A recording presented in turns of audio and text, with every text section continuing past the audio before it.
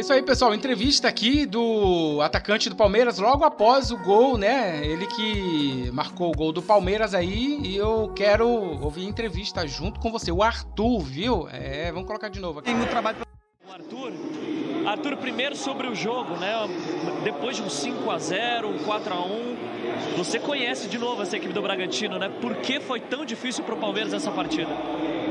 A gente sabe da qualidade, eu é, não sei como como a equipe trabalha, né, no dia a dia, a gente sabia que era difícil, um jogo muito difícil, um time compacto, é, muito agressivo, e é isso que a gente esperava. Infelizmente, a gente sai triste, realmente, porque dentro de casa a gente sempre busca três pontos, mas acho que o empate foi justo pelas duas equipes que tentaram jogar, né?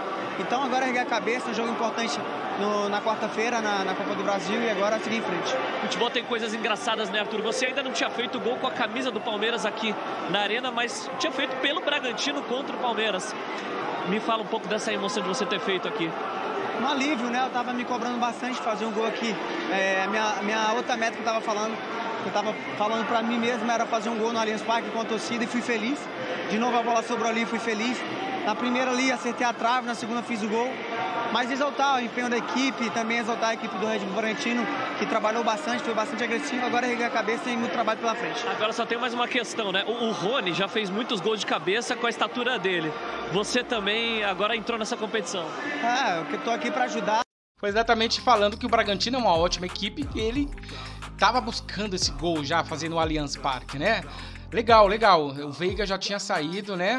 Mas é isso aí. O outro gol foi do Capixaba, tá bom? No outro vídeo eu ponho a entrevista do Capixaba lá do Red Bull Bragantino, que jogou muito bem. Foram para cima, né? Vieram para segurar mesmo. Quase, quase no finalzinho o Palmeiras reverte aí, faz uns 2 a 1 um, né? Bom, já se inscreve no canal, deixa seu like, ativa a notificação e comentem. A gente se vê no próximo vídeo. Guess you're trying to stay strong and fake a smile until I look